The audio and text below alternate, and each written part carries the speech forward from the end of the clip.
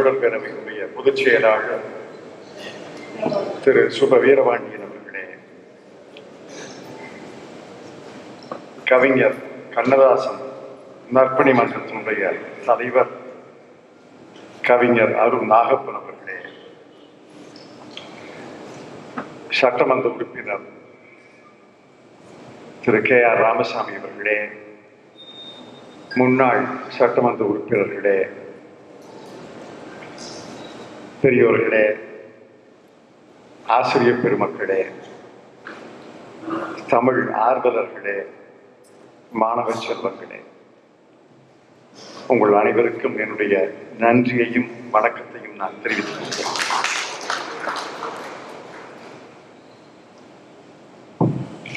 இது ஏற்கனவே ஆங்கிலத்திலே வெளிவந்து வெளியிடப்பட்ட நூல். அதே போல தமிழிலே மொழிபெயர்க்கப்பட்டு சென்னையிலே வெளியிடப்பட்ட நூல்.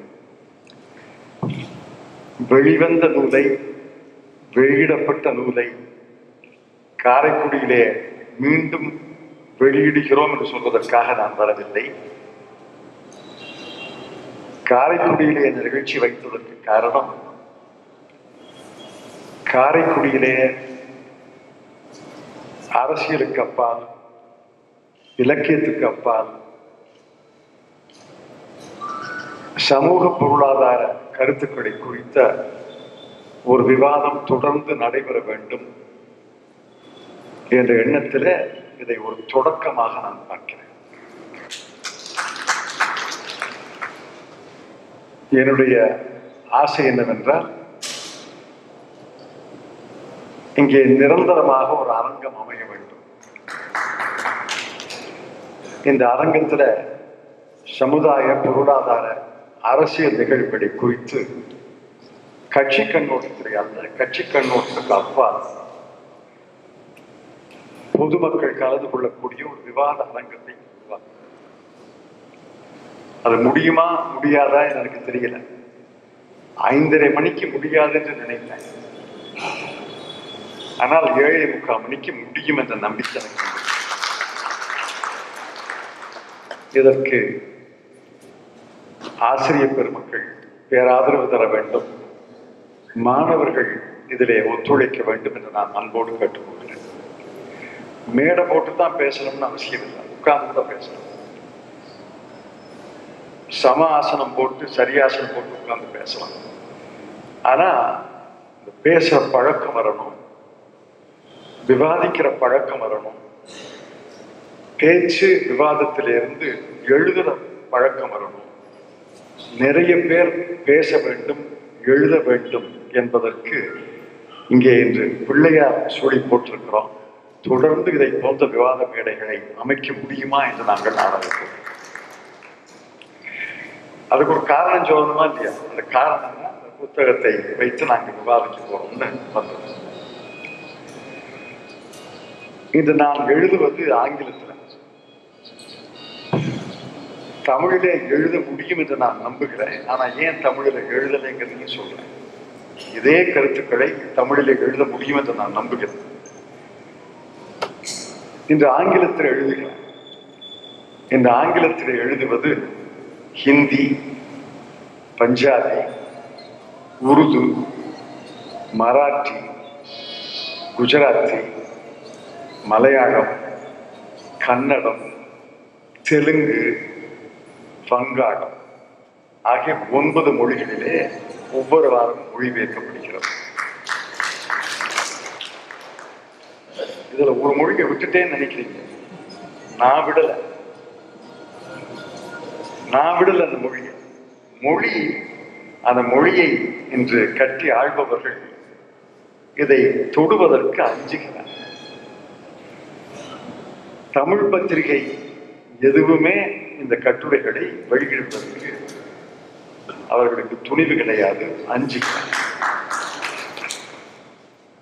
ஆகவே தமிழில் எழுத வேண்டும் என்ற ஆசை இருந்தாலும் தமிழிலே எழுத முடியும் என்ற நம்பிக்கை இருந்தாலும் எங்க எழுதுறது எந்த பத்திரிகையில் எழுதுறது இது தமிழகத்துக்கு ஒரு மிகப்பெரிய தலைக்குனி பல மொழிகளிலே சுவையான கடுமையான விவாதங்கள் நடைபெறுகின்றன. அந்த விவாதம் தமிழ் மொழியிலே நடைபெறவில்லை என்பதை நான் வருத்தத்தோடு தெரிவித்துக் கொள்ள கடமைப்பட்டிருக்கிறேன். ஆனா காலம் மாறும் என்ற நம்பிக்கை எனக்கு இருக்கு. ஏன் எழுதுனேன் பாராளுமன்றத்தில் பேசிட்டு போயிடலாம் அல்லது கட்சி கூட்டங்களிலும் பேசலாம் இந்த கட்சி கூட்டங்களிலே கலந்து கொள்பவர்கள் பெரும்பகுதி அந்த கட்சியை சார்ந்தவர்கள் தான். கட்சிக்கு அப்பால் யாரும் கட்சி கூட்டங்களில் கலந்து கொள்வது கிடையாது. பாராளுமன்றத்துல பேசினா அதிகபட்சம் ஐநூத்தி நாற்பது பேர் கேட்பாங்க. ஆனால் ஒரு மொழியில எழுதி ஒன்பது மொழிகளிலே மொழிபெயர்க்கப்படும் பொழுது குறிப்பாக ஆன்லைன்ல அந்த மொழிபெயர்ப்பு வரும் பொழுது நான் தெரிந்து கொண்ட உண்மை லட்சக்கணக்கில் இருக்கிறார் இது வாசகர்கள் ஆயிரத்துல இல்லை. லட்சக்கணக்கில் வாசகர்கள் படிக்கிறாங்க. நான் ரயிலில் பயணம் செய்யும் பொழுது விமானத்தில் பயணம் செய்யும் பொழுது வெளியூர்களுக்கு போகும்போதெல்லாம் வந்து நீங்கள் எழுதினதை நான் மராத்தியில் படிச்சேங்கிறான். நீங்கள் எழுதினதை நான் குஜராத்தில் படிச்சேங்கிறான். இந்த எழுத்து இல்லை என்றால் ஆன்லைன் இல்லை என்றால் அவனுக்கு எனக்கு தொடர்பே ஏற்பட்டிருக்காது. ஆக எழுத வேண்டும். எழுதினால்தான் இந்த செய்தி போகும். எழுதினால்தான் இந்த செய்தி. இன்னும் பல பேருக்கு போகும். பேச்சு ஒரு அளவுக்கு தான் போகும். எழுத்து தான் மிக மிக தொலைவில் போகும். பேராசிரியர் திரு வீரபாண்டியர் அவர்கள் நிறைய பேசுறாங்க. பேசுறத குறைச்சிக்கிட்டு நிறைய எழுதணும்னு நான் அனுபவம் எழுதுறது தான் போகும். ஆன்லைன்ல எழுதணும். எழுதுறது ஆன்லைன்ல வரணும். நான் ஏன் எழுதுறேன்னா சில அடிப்படையான விஷயங்கள்ல எனக்கு ஆழமான கவலை இருக்கிறது. இந்த கவலைகளை எல்லாம் பகிர்ந்து கொள்ள வேண்டும் என்றால் எழுத்து அதற்கு ஒரு வழியாக எனக்கு தெரிகிறது. இப்ப பண மதிப்பு இழப்பை பற்றி பேசுறேன் பணமதிப்பு இழப்பு என்பது ஒரு பொருளாதார பிரச்சனை தான் எக்கனாமிக் இஷ்யூ அது யாருக்கும் மறுப்பு கிடையாது. பணமதிப்பு இழப்பு என்பது பொருளாதாரம் சம்பந்தப்பட்ட இந்திய பொருளாதாரம் சம்பந்தப்பட்ட ஒரு முக்கியமான பிரச்சனை.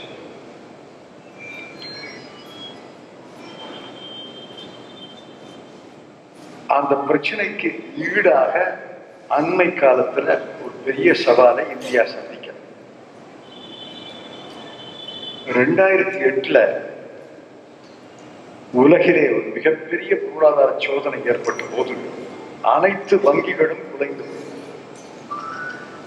அமெரிக்காவில் மட்டும் ஆயிரம் வங்கிகள் மூடப்பட்டன. இங்கிலாந்துல வங்கிகள் மூடப்பட்டன. அமெரிக்காவில் மெரில் லிஞ்ச் என்ற பெரிய வங்கி மூடப்பட்டது. லேமன் பிரதர்ஸ் என்ற பெரிய வங்கி மூடப்பட்டது. நம்ம வங்கிகள் எல்லாம் விட பெரிய வங்கிகள். நம்முடைய ஸ்டேட் பேங்க் பாரத ஸ்டேட் வங்கியை விட பெரிய வங்கி மெரில் லிஞ்ச் அவையெல்லாம் மூடப்பட்டன. ஆனா இந்தியாவில் ரெண்டாயிரத்தி எட்டுக்கு பிறகு ஒரு வங்கி கூட மூடல். அந்த சோதனையில ஒரு வங்கி கூட மூடல். ஒரு வங்கியை கூட மூடுவதற்கு நாம் வழி விடல் அதற்கான ஆயத்தமான காரியங்களை செய்யணும் அதற்கான பாதுகாப்பான செயல்களில் ஈடுபட்டதால் இந்தியாவில் மட்டும்தான் வங்கிகள் மூடப்படவில்லை. வங்கிகள் குலையவில்லை. ஜெர்மனியில் ஒரு வங்கி குலைந்தது. இங்கிலாந்துல மூன்று வங்கிகள் குலைந்தன. பிரான்ஸ்ல வங்கி குலைந்தது. பிரேசில்ல வங்கி குலைந்தது. அமெரிக்காவில் மட்டும் ஆயிரம் வங்கிகள் ஆனா இந்தியாவில் நடக்கணும்? ரெண்டாயிரத்தி எட்டு உலக பொருளாதார சோதனைகளை ஏற்படாத ஒரு சவால் இந்த பண மதிப்பு இழப்பால் ஏற்பட்டது. ஆக பொருளாதார பிரச்சனை என்பதுல சந்தேகம் இல்லை ஆனால் அதையும் தாண்டி இது ஒரு எத்திக்கல் இஷ்யூ அறம் சம்பந்தப்பட்ட பிரச்சனை. அறம் அறம்னு பேசும் எத்திக்ஸ்னு பேசும் இது ஒரு அறம் சம்பந்தப்பட்ட பிரச்சனை. நான் எழுதுறேன். நாள்தோறும் இந்தியாவில் பதினைந்து கோடி மக்கள் அன்றாட கூலிகள். அன்னைக்கு வேலை பார்த்தா தான் வீட்டுல உல வைக்க முடியும். அன்றாட கூலிகள் பதினைந்து கோடி. பதினைந்து கோடி அன்றாட கூலிகள் இருக்கிறாங்கன்னா அவர்களை நம்பி ஒரு குடும்பத்துல மூணு அல்லது நாலு நிமிஷம் கூட நாற்பத்தைந்து கோடியிலிருந்து அறுபது கோடி மக்கள் அன்னைக்கு வேலை பார்த்தா தான் பெருமழை பெஞ்சு வேலை இல்லைன்னா அந்த அன்றாட கூலிக்கு அன்னைக்கு வருமானம் கிடையாது. புயல் அடிச்சு வெள்ளம் வந்து வேலை இல்லைன்னா அன்றாட கூலிக்கு வேலை கிடையாது. இழந்த வேலையை இன்னொரு நாள் வேலை பார்க்க முடியாது. திடீரென்று ஒரு வியாபாரத்துல ஒரு கடையில விடுமுறை விட்டுட்டா. அப்ப இன்னைக்கு விடுமுறை ஞாயிற்றுக்கிழமை வேலை பார்க்க சொல்லலாம். ஆனா அன்றாட கூலிக்கு எல்லா கிழமையும் ஞாயிற்றுக்கிழமை தான். இன்னைக்கு இழந்த வேலையை நாளை அவன் ஈடுகட்ட முடியாது. பதினைந்து கோடி மக்கள். எங்க கணக்குப்படி பதினைந்து கோடி மக்கள். ஏறத்தாழ இரண்டு மூன்று மாதங்கள் வேலை இல்லாமல் ஆக பதினைந்து கோடி மக்கள் அவர்களை நம்பி ஒரு முப்பத்தைந்து நாற்பது ஐம்பது கோடி மக்கள் இரண்டு மூன்று மாதங்கள் எந்த வருமானமும் இல்லாமல் இருந்தார்கள் என்றால் இது அறம் சம்பந்தப்பட்ட பிரச்சனை என்றால் இது ஒரு அரசு அறத்தின் வழியிலே நடைபெறுகிறதா என்ற கேள்வி. அடுத்த கேள்வி. வேலைகளை உருவாக்குறோம்னு சொன்னீங்க. உருவாக்காட்டி கூட பரவாயில்ல. இருந்த வேலைகளை அழித்தது பணமதிப்பு இதற்கு ஒரு உதாரணத்தை அன்னைக்கு சொன்னேன். அதுக்கு பிறகு இன்னும் ஒரு வலிமையான உதாரணம் கிடைச்சிருக்கு. தமிழ்நாடு சட்டமன்றத்துல தமிழ்நாடு தொழில்துறை அமைச்சர் திரு எம் சி சம்பத் அவர்கள் அதிகாரப்பூர்வமான அறிவிப்பு ரெண்டாயிரத்தி பதினாறு நவம்பர் பணமதிப்பு இழப்புக்கு பிறகு தமிழ்நாட்டில் ரெண்டாயிரத்தி பதினேழு பதினெட்டாம் ஆண்டுல ஐம்பதாயிரம் சிறு குறு தொழில்கள் மூடப்பட்டன. ஐந்து லட்சம் பேர் வேலை இழந்தார் தமிழ்நாட்டில் மட்டும். திருப்பூர்ல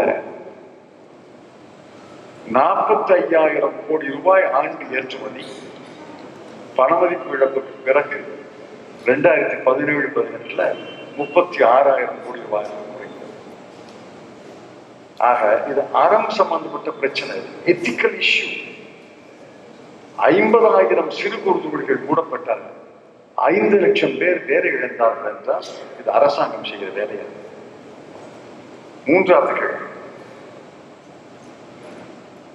அதை நண்பர்களை குறிப்பிட்டாங்க திருப்பூர்ல பழைய பஸ் ஸ்டாண்ட் ஒரு இடம் இருக்கு ஆயிரத்தி ஐநூறு துணை தொழில் கூடங்கள் இருந்தன இந்த பெரிய பனியன் ஃபேக்டரி இருக்கும். இந்த பெரிய பனியன் ஃபேக்டரி அங்க ஆடை செய்வாங்க ஆயத்த ஆடைகள். இந்த பட்டன் தைக்கிறது இந்த லேபிள் தைக்கிறதெல்லாம் அந்த சிறு தொழில் கூடங்கள் செய்யும்.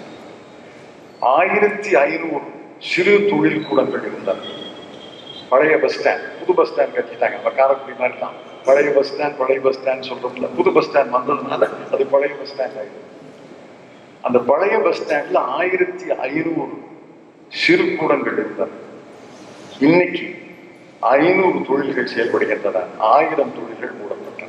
இது ஒரு திருப்பூர். இந்தியாவில் திருப்பூரை போல எத்தனை ஊர்கள் ஜலந்தர்ல ஆரம்பிக்க. ஜலந்தர்ல ஆரம்பிச்சு திருப்பூர் வரைக்கும் வாங்க.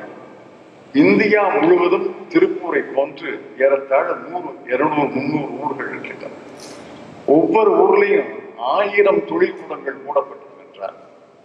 எத்தனை தொழிற்கூடங்கள் மூடப்பட்டன எத்தனை சிறு குறு தொழில்கள் முடக்கப்பட்டன? எத்தனை லட்சம் பேர் வேலை வாய்ப்பு இழந்தார்கள் பார்க்கணும். இது ஆரம்ப சம்பந்தப்பட்ட பிரச்சனை.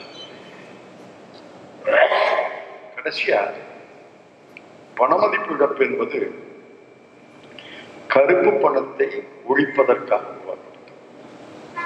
என்ன ஆணுச்சு? கருப்பு பணம் கருப்பு பணமா இருந்துச்சு. வெள்ளைப்பணம் வெள்ளை பணமா இருந்துச்சு ஃப்ளோ தான். கருப்பு வெள்ளையாக வெள்ளை கருப்பா. இந்த செஸ் போர்டு மாதிரி அது. காய் எங்க நகர்த்தனமா இருக்கும் காய் கருப்பு சதுரங்கத்திலையும் உட்காரலாம். அல்லது வெள்ளை சதுரங்கத்திலையும் உட்காரலாம். சதுரத்திலையும் உட்காரலாம். அது ஒரு பக்கம் இருக்கட்டும். அதை விளக்கமா சொன்னாங்க. இந்த பணமதிப்புழப்பின் காரணமாக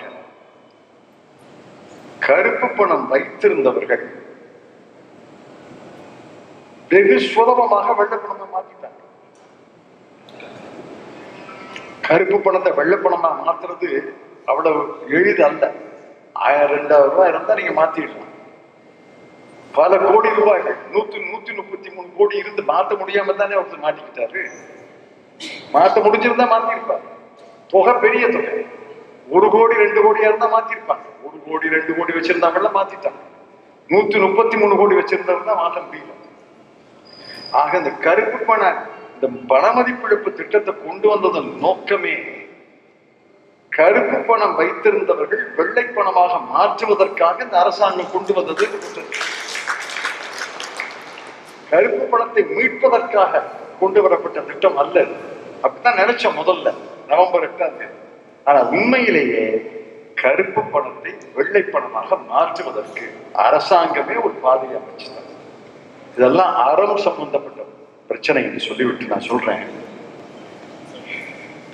ஐநூத்தி ஐம்பத்தோராவது திருக்குறளாகத்தான் சொல்லணும். அது சொல்லலாமா இல்லை சொல்லக்கூடாதா எழுதலாமா எழுதக்கூடாதான்னு யோசிச்சு கடைசியில எழுதுவதில்லை குரலுடைய எண்ணை மட்டும் சொல்வதுன்னு சொன்னேன். ஏன் என்னன்னா அந்த குரல் எப்படி இருக்குன்னா கொலை மேற்கொண்டாரின் கொடிதே அதை மேற்கொண்டு அல்லவை இது ஒழுகும் வேறு ஒரு ராஜாவை பத்தி சொல்லும்போது கொலையாளியை விட மோசமானவன் இந்த அரசாங்கம்.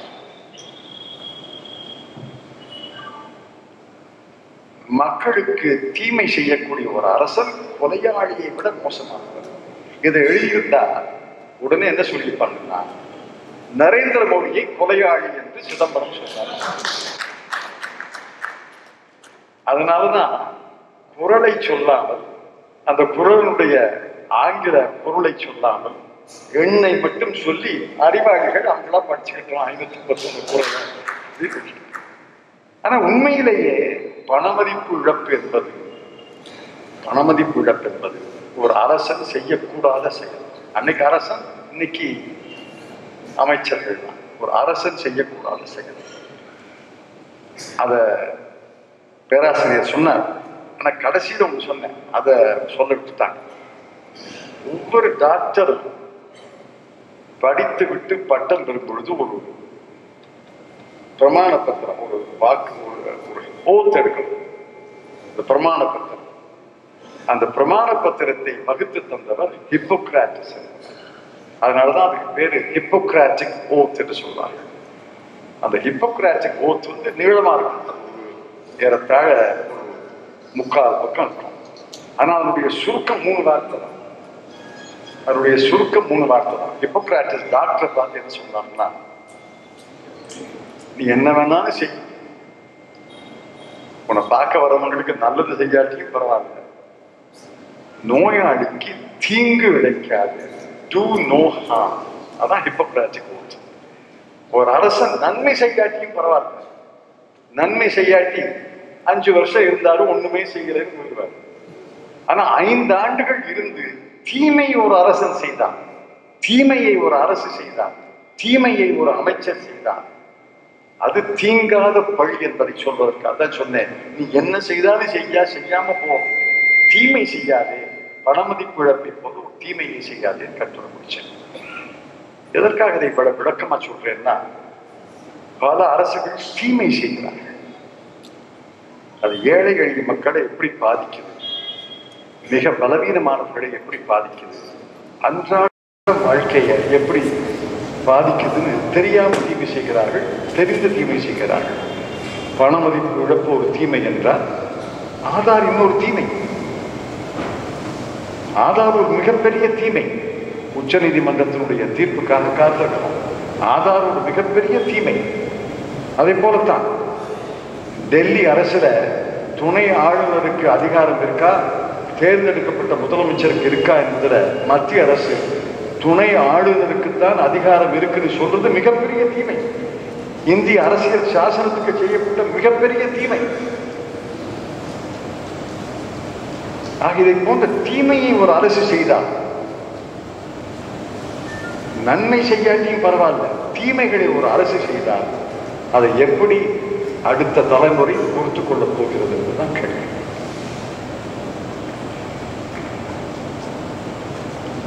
அதற்கு அடுத்து எதற்காக எழுதுகிறேன் என்றால் இன்னொரு உதாரணத்தை சொல்கிறேன். இந்தியாவில்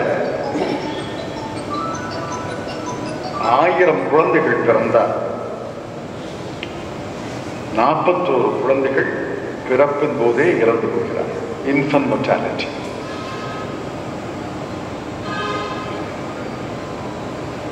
உலகத்தில் பல நாடுகளில் ஆயிரம் குழந்தைகள் பிறந்தால் ஒரு குழந்தை அல்லது இரண்டு குழந்தை பிறக்கும் பொழுது இறந்து போகிறது நம்ம நாற்பத்தி ஒன்று ஐந்து வயதுக்கு உட்பட்ட மரணம் ஆயிரம் குழந்தைகளில் ஐம்பது குழந்தைகள் ஐந்து வயதுக்கு உட்பட்டு மறித்து போகிறார்கள் எல்லாவற்றையும் விட கவலை தரக்கூடிய செய்தி என்னவென்றால்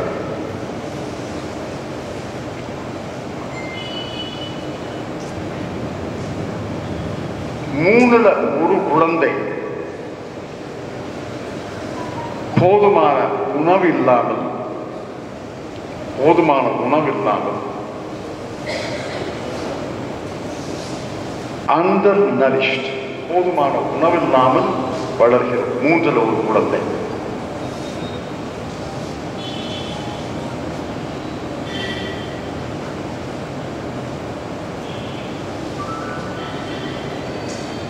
இரண்டிலே ஒரு குழந்தை அனீமிக் சோகை. அனீமிக் குழந்தை. இதெல்லாம் விட மோசமான ஒரு செய்தி என்னவென்றால் ஐந்திலே ஒரு குழந்தை வளர்ச்சி குன்றிய குழந்தை. வளர்ச்சி குன்றிய குழந்தைன்னா உடல் வளர்ச்சி மட்டுமல்ல மன வளர்ச்சியும் குன்றிய குழந்தை. அந்த குழந்தை இன்னொரு அறுபது வருஷம் அறுபத்தைந்து வரை வாழப்படும் இந்தியாவில் இன்னைக்கு லைஃப் எக்ஸ்பெக்டன்சி ஏறத்தாழ எழுபது வயது அறுபத்தாறு அறுபத்தெட்டு ஆயிடுச்சு. அந்த குழந்தை அறுபத்தெட்டு ஆண்டுகள் வாழப்போது அறுபத்தஞ்சு வயது வைக்கும் அந்த அறுபத்தெட்டு ஆண்டுகளும் அந்த குழந்தை முழு மனிதனாக வரவே முடியாது. உடல் வளர்ச்சி மட்டுமல்ல மன வளர்ச்சியும் குன்றிய குழந்தையாக ஐந்தில் ஒரு குழந்தை.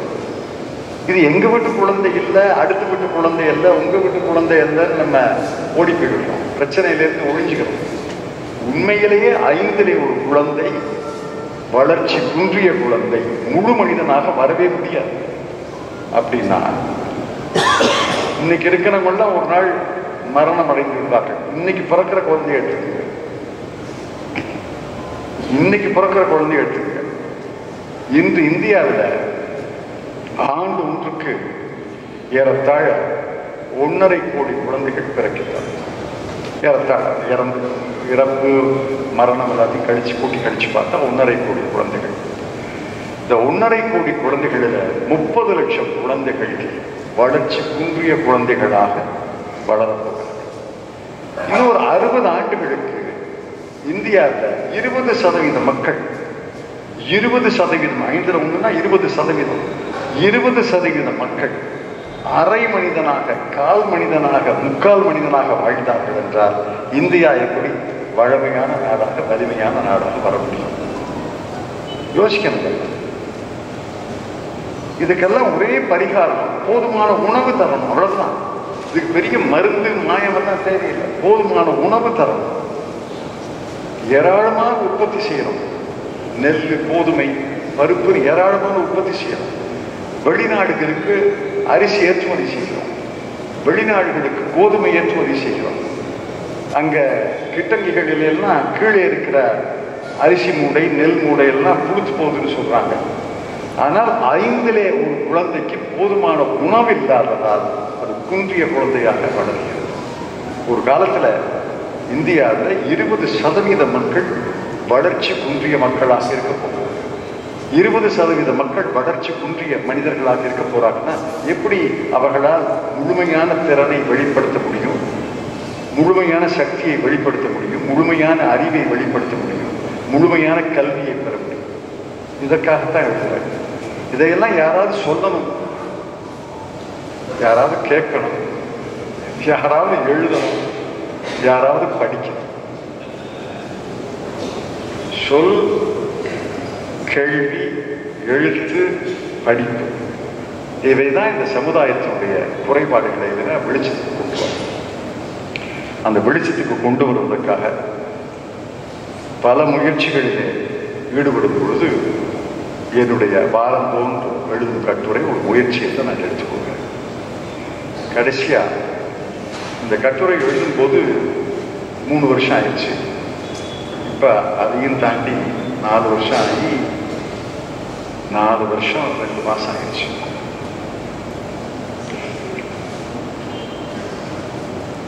ஒரு ஆய்வு நடத்தினாங்க நகர்ப்புறங்கள்ல ஆய்வு நடத்தினாங்க நகர்ப்புற ஆய்வினுடைய முடிவுகளை சொல்றேன் உங்கள் நகரத்துல மூன்று ஆண்டுகளுக்கு முன்னால் இருந்ததை விட மருத்துவ வசதிகள் முன்னேறி இருக்கின்றனவா ஐம்பத்தெட்டு சதவீதம் இல்லை. உங்கள் நகரத்தில் மூன்று ஆண்டுகளுக்கு முன்னால் இருந்ததை விட பெண்கள் குழந்தைகளுக்கு எதிரான வன்கொடுமை குறைந்திருக்கிறதா? அறுபது சதவீதம் இல்லை. உங்கள் நகரத்தில் அன்றாடம் நீங்கள் பயன்படுத்தக்கூடிய அடிப்படை பொருள்களுடைய விலை மூன்று ஆண்டுகளுக்கு முன்னால் இருந்ததை விட குறைந்திருக்கிறதா? அறுபத்தாறு சதவீதம் இல்லை.